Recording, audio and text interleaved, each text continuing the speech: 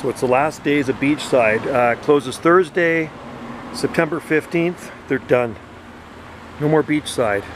So Thursday, they're closed Wednesday, so uh, Thursday will be my last day of having coffee here at Beachside in Ganges on Salt Spring Island.